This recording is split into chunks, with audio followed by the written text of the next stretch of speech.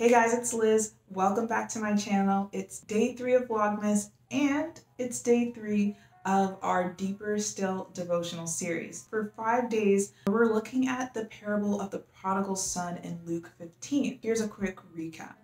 So, yesterday we talked about the power of repentance, and what's so cool in this parable is seeing what happens when the son comes home and asks his father for forgiveness and how his father so willingly embraces him and celebrates his return. And just like that, it illustrates how God rejoices when we come to Him in repentance, and how God has so much love and mercy on us and is so faithful to forgive us. So, for day three, we're going to be talking about knowing your identity in Christ and why it is absolutely crucial to going deeper in your relationship with the Lord. So let us start off with today's reading. So for today's reading, we are looking at Luke 15, verses 21 through 23, which reads, And the son said to him, Father, I have sinned against heaven and before you. I am no longer worthy to be called your son. But the father said to his servants, Bring quickly the best robe and put a ring on his hand and shoes on his feet, and bring the fattened calf and kill it, and let us eat and celebrate. So, what is incredible about this moment is the father's reaction to the son's statement that he is he needs forgiveness and that he's no longer a son of his own father. What I immediately thought of was Romans 8 38 through 39, which talks about the fact that nothing can separate us from the love of God. But here's the thing is that the enemy will try to hinder you from going deeper with God by confusing your identity. He will try his best to prevent you from fully accepting God's love, or he will try his best to prevent you from knowing his love by deceiving you into thinking you're not who God says you are. You know, what's interesting is the younger son was right in his wrongdoing that he had wronged his father in this and taking his inheritance beforehand and spending it all in, in a sinful way. But here's the thing is that the son quickly went into shame. He said, I am no longer worthy to be called your son in verse 21. But here's the thing is he allowed what he did to change his identity. He was the son and he always had been. But because of shame, he felt he wasn't even worthy to be a son anymore. But here's the truth is that when we consider repentance, repentance is not living in shame. In fact, that's a trick of the enemy. The enemy has come to steal, kill, and destroy, according to John 10 10. But in that verse, it says, I have come.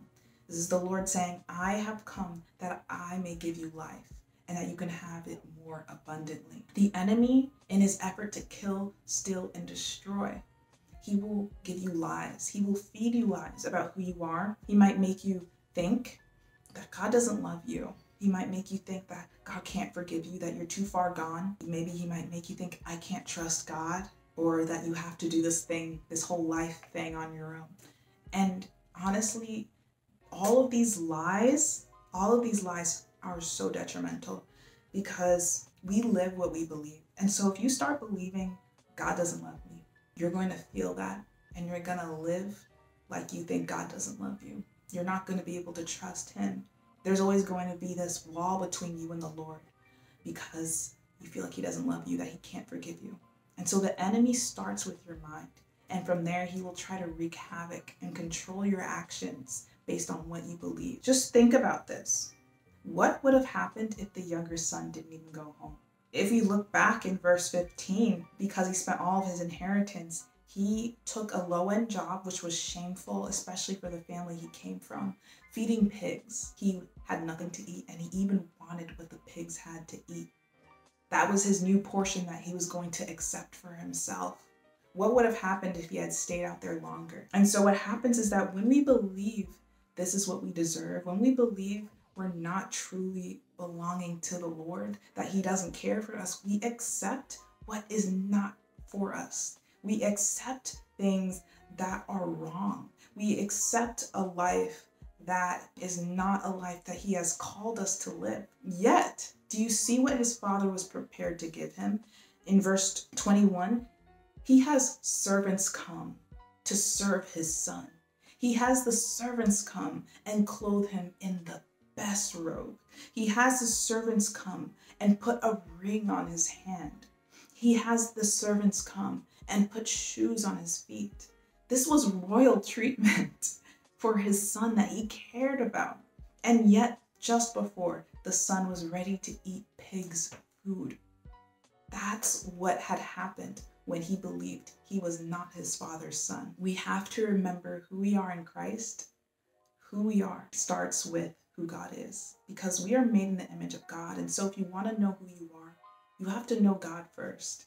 And so, who is God? He is a loving Father who has the best for us, as we can see in this parable. We are his children, which means that we have a great inheritance in him, just as the Father had inheritance for his sons. Remember this you are accepted by God. That is your identity, and that is your portion. And so live by it. And when you are able to know and believe that, you don't need to go searching for acceptance anywhere else. And so for today's reflection questions, I want to leave you with this. What lies about who you are have you been accepting lately? Have you been telling yourself, I'm not good enough? Have you been telling yourself, I'm not smart enough?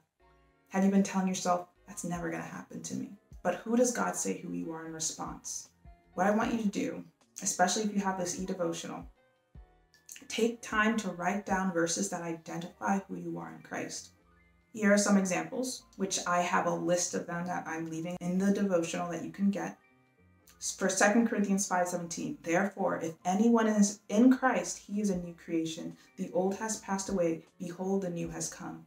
Another verse, 1 Peter 2 9, but you are a chosen race, a royal priesthood, a holy nation, a people for his own possession, that you may proclaim the excellencies of him who called you out of darkness into his marvelous light. And I have a couple more verses, which again, that you can access if you download my free devotional that goes along with this study. And so I want you to write down verses like these for you to hold on to so that you can remember who you are in Christ because you are chosen and He loves you.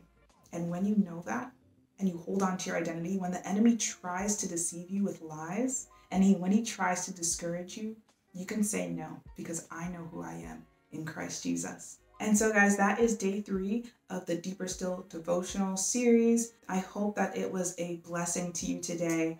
And I cannot wait to bring you day four tomorrow. So don't forget to subscribe so you don't miss when the video comes out. So, guys, thank you so much for watching, and I will see you in the next one.